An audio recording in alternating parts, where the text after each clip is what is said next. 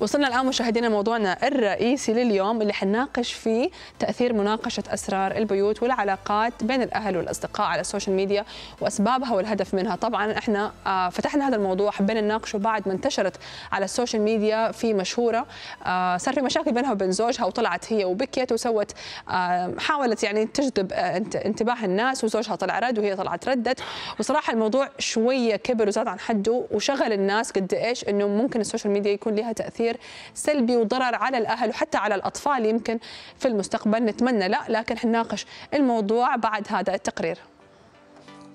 إفشاء أسرار البيوت وتفاصيل الحياة اليومية الدقيقة والمشاكل الأسرية والزوجية عبر مواقع التواصل الاجتماعي أصبحت ظاهرة أو ترند في الفترة الأخيرة. الهدف منه طبعا زيادة نسبة المشاهدات وتصدر الترند حتى ولو لساعات قليلة. فيظهر بعض الأشخاص واللي يطلقون على أنفسهم مؤثرين على مواقع التواصل الاجتماعي بمقطع فيديو أو post يتحدثون فيه عن أسرار بيوتهم وعلاقتهم بأزواجهم وأصدقائهم بدون أي خطوط حمراء. فإيش هي الأسباب اللي تدفع مثل هؤلاء الأشخاص لكشف أسرار بيوتهم وحياتهم بهذا الشكل أمام الجميع؟ وكيف ممكن نتعامل مع هذه الظاهرة السلبية ونستفيد من مواقع التواصل الاجتماعي بشكل إيجابي وما نسمح لها بانتهاك خصوصيتنا؟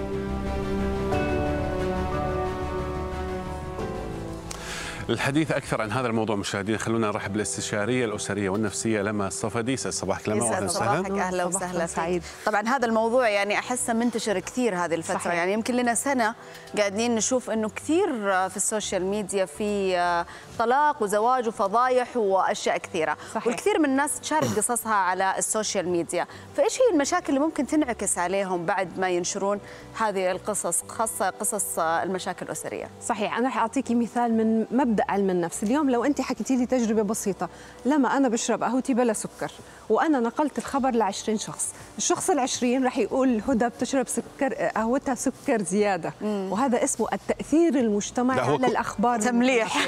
هو كويس إذا ظل الموضوع انها تشرب قهوة. صحيح. بالتالي الشخص العشرين رح يكون نقل الخبر بهالطريقة. هذا بيفسر بعلم النفس أنه نحن لما بنطرح مشاكلنا أمام المجتمع فبالتالي مشكلتي صارت بإيدهم. وبطلت ملكي فأنا لازم أكون متقبلة لكل الرأي اللي ممكن هم يحكوا ويشاركوا فيه ولكل التفاعل اللي أنا يمكن يجيني سلبي أو إيجابي نعم. من الآخرين لأنه تقييم الناس ما رح يكون منطقي صحيح. كل إنسان هي التجربة بعلم النفس بتقول بأنه نقل الخبر نعم. أنا باللا شعور بضع فيه شيء من تجاربي من خلفياتي من آرائي. الثقافية والدينية فبالتالي ما رح يوصل نفس الخبر لو تم تناقله أبسط حد ل 20 شخص فما صحيح. بالك لو كان ملايين فعلا آه، لما خلينا يعني ناخذ الموضوع إنه بالأسباب ليش نشوف الكثير من الناس تشارك قصصها ومشاكلها على ال social media اولا؟ في جزء منهم اللي أكيد نحن بنعرف بأنه رفع أعداد المتابعين وهذا صار متعارف عليه خصوصا حتى من طريقة كتابة الخبر اللي بنشوفها فضيحة يعني هو الخبر نعم. بحد ذاته بصير في كثير ناس عندهم آه، يدخلوا في ناس بيعتبروا بأنه المتابعين أو اللي هن موجودين على صفحاتهم عائلتي فمن مبدأ الشفافية وطرح المشاكل ولكن أكيد كل شخص أنا بقول بيتعلم من كيسه. شو يعني هذا المثل الدارج؟ بأنه أكيد أول مرة ممكن الإنسان يشارك ولكن نتيجة الهجوم اللي هو راح يتعرض له راح يعرف بأنه الموضوع هو خلى الأمور تروح للأسوأ. لأنه المشكلة لما تكون هي بين شخصين فهم قادرين يتخانقوا وأي شيء نحن بنعرف البيوت اسرار ولكن بآخر اليوم تجاربهم صحيح. بيحلوها بيتدخلوا شوي من صحيح. العائلة. أصدقاء بيروحوا لمستشار أسري بيتم حلها أو حتى الطلاق. نحن بنقول النهايات أخلاق فالطلاق بتراضي. ولكن لما صارت على ال social media بصير كل شخص بده يحاول يثبت وجهة نظره إلنا. صحيح. مش للشريك ولا العائلة ولا الحين صاروا. حتى يكتبون أعلن انفصالي عن فلانة تمام. مدري إيش كأنه يعني يخلي لها مسؤولية. مسؤوليه فإيش الضريبة اللي ممكن يدفعونها؟ يعني الأشخاص المشاهير على ال social media لما يعرضون حياتهم الخاصة أو مشاكل انفصالهم؟ آه، تدخل الناس وتقبل آراء الناس لأنه هو مثل ما حكينا هو الخبر رح ينحكى فالآخر رح يرد ونحن بنعرف بصير هون سباق على إثبات وجهة نظري أمام الآخرين لأنه في كثير ناس ممكن يضيع حقهم. يعني هو عنده حق وهو فعلا متضرر وهو فعلا إنسان مظلوم وقع عليه الأذى. ولكن لما بتصير أمام ال social media يا ما أكثر الصفحات اللي بتقلب ال- الطاولة. وبالتالي بتتدخل الأمور وبتتدخل رأي المجتمع لأن نحن بنعرف انه المجتمع بيقيم. فبالتالي ممكن يروح لتقييم ديني شرقي ذكوري مجتمعي يعني تحت أي صنف من أنواع التقييمات فهون الأصعب وبتصير القصة بأحيانا ما بين إنه أنت فعلا مظلوم ممكن تطلع ظالم بعيون كثير من هذا هو الغريب إنه صاروا الرجال يعني على ال social media يسوون هذا الأسلوب. هذا يمكن إحنا مستنكرينه أكثر غير الحريم يعني نقول إنه بعض الأحيان المرأة عاطفتها تغلب عليها. آه، طبعا في قصص فضايح آه، تنشر على المنصات وصاروا المتابعين لهم دور فعال إنهم يعطون الأحكام التبرير صحيح. الاتهام. ولكن إلى أي مدى يعني لازم يكون آه، المتلقي يرد آه، على الأذى هذا اللي يجي له؟ إلى أي مدى له القدرة إنه يرد؟